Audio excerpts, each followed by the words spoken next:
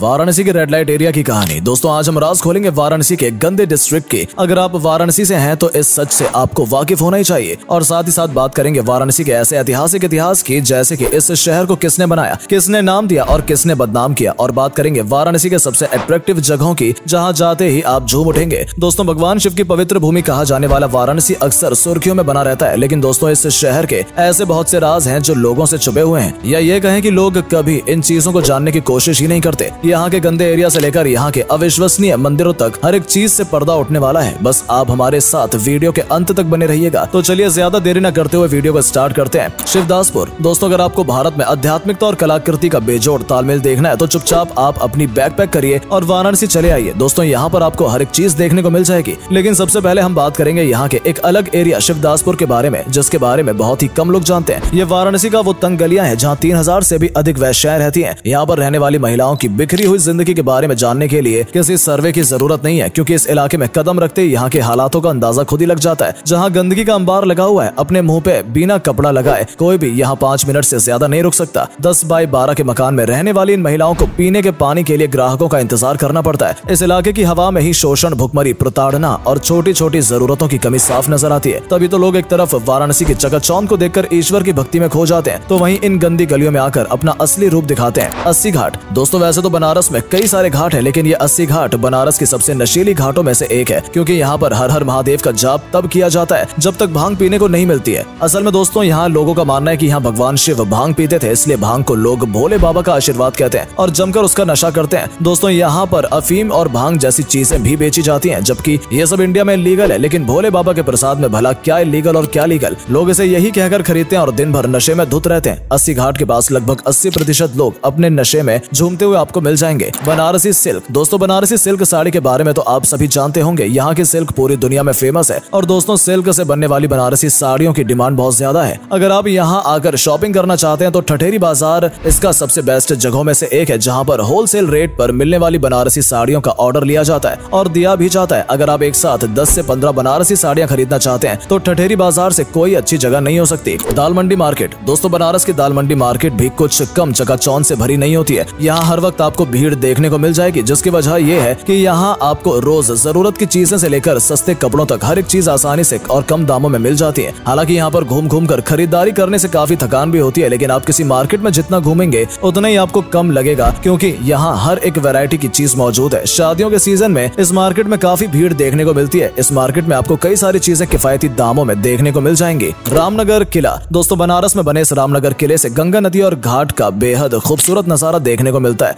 1750 में राजा बलवंत सिंह ने इस किले का निर्माण करवाया था, जो कि देखने में बहुत ही खूबसूरत लगता है। और दशहरे के दौरान तो इस किले को किसी दुल्हन की तरह सजाया जाता है, और साथ ही साथ यहाँ पर रामलीला का भी आयोजन होता है। ये किला शहर से 14 किलोमीटर की दूरी पर है, लेकिन तब भी यहाँ पर लोगों का खचाखच भीड़ देखने को मिलती है। बॉलीवुड की जान। दोस्तों, बनारस शहर और बॉलीवुड का कुछ खास ही रिश्ता है। तभी तो इस शहर की खूबसूरती को कई सारे बॉलीवुड फ़िल्मों में दिखाया गया है। पुरानी से लेकर नई तक हर एक तरह की फ़िल्मों में आपको बनारस की झलक देखने को मिल जाएगी, जिसका सबसे बड़ा उदाहरण धनुष और सोनम कपूर की फ़िल्म रांझना है। और जिसमें बनारस में कई सारे रंग देखने को मिलते हैं। वैसे दोस्तों, शायद आप न जानते हो, यहाँ पर कई सारे एक्टिंग स्कूल भी हैं। और यहाँ काफ़ी ज़्यादा ड्रामा और थिएटर भी किया जाता है। यहीं से कई सारे कलाकार एक्टिंग सीख कर बॉलीवुड में अपनी किस्मत आजमाने पहुँच जाते हैं। दोस्तों, वाराणसी, भारत के उत्तर प्रदेश राज्य का बहुत ही मशहूर शहर है। इसे बनारस और काशी भी कहकर बुलाया जाता है। इसे हिंदू धर्म का एक पवित्र स्थल माना जाता है। और इसके अलावा बौद्ध एवं जैन धर्म में भी ये महत्वपूर्ण शहर है। दोस्तों, बनारस भारत के प्राचीन शहरों में से एक है। बनारस में बहुत ही बड़े पैमाने पर घाट मौजूद है। कहा जाता है की यहाँ पर कुल अठासी घाट बने हैं, जिनमें से कुछ ऐसे हैं जिन्हें देखे बिना अगर आप बनारस से वापस आ गए तो समझ लीजिए कि आपने कुछ नहीं देखा। जैसे कि बनारस का दशमासी घाट। दोस्तों, दशमासी घाट बहुत ही निराली जगह है। यहाँ सुबह गंगा नदी में लोग डुबकी लगाकर अपने दिन की शुरुआत करते हैं और शाम की आरती के साथ घर लौटते हैं। इस जगह को अच्छी तरह से एक्सप्लोर करने के लिए आपको नाव की सैर करनी पड़ेगी। काशी विश्वनाथ टेंपल दोस्तों, बनारस में सोने का मंदिर मौजूद है, जिसका नाम काशी विश्वनाथ मंदिर है, जो केवल वाराणसी का ही नहीं, बल्कि पूरे भारत का सबसे अनोखा मंदिर माना जाता है। तभी तो यहाँ पर भगवान शिव के साठ सेंटीमीटर शिवलिंग को छूने के लिए लोग मीलों की दूरी तय करके यहाँ आते हैं। वाराणसी को दुनिया के धर्म की नगरी कहा जाता है और कई लोग इसे सिटी ऑफ़ टेम्पल्स यानी मंदिरों का शहर के नाम से भी जानते हैं। दोस्तों, यहाँ पर इतने सारे मंदिर बने हुए हैं कि आप गिनते गिनते थक जाएँगे। सिर्फ़ हिंदू ही नहीं, बल्कि बौद्ध और जैन धर्म के कई सारे मंदिर यहाँ पर मौजूद है। वाराणसी में बोली जाने वाली भाषा भोजपुरी और हिंदी है। वैसे यहाँ के मंदिरों के अलावा यहाँ की मिठाइयाँ भी बड़ी फ़ेमस है। तभी तो बेसन के लड्डू, परवल मिठाई और लौंग लता यहाँ की प्रचलित मिठाइयाँ हैं। और दोस्तों, यहाँ की मिठाइयों के साथ साथ यहाँ का फास्ट फ़ूड भी बहुत ही ज़्यादा फ़ेमस है। यहाँ पर चाट कचौड़ी और समोसा लोग अक्सर गली कुचे में खाते हुए मिल जाएँगे, लेकिन यहाँ पर मौजूद दीना चाट सेंटर काफ़ी फ़ेमस है, क्योंकि ये शॉप ऑल इन वन है और सालों से चल रही है। दोस्तों, वैसे तो वाराणसी में गंगा मैया बहती है, लेकिन इसके अलावा यहाँ पर कई सारे वाटर पार्क भी मौजूद है। ताकि जिस किसी को फैमिली के साथ मौज मस्ती करना हो, वो यहाँ आ सके और इसके अलावा वाराणसी में शॉपिंग मॉल की भी कोई कमी नहीं है। इसलिए अगर आप शॉपिंग के शौकीन हैं तो आप यहाँ ज़रूर घूमिए। लेकिन अगर आप भीड़ भाड़ से दूर कुछ सुकून पल बिताना चाहते हैं तो आप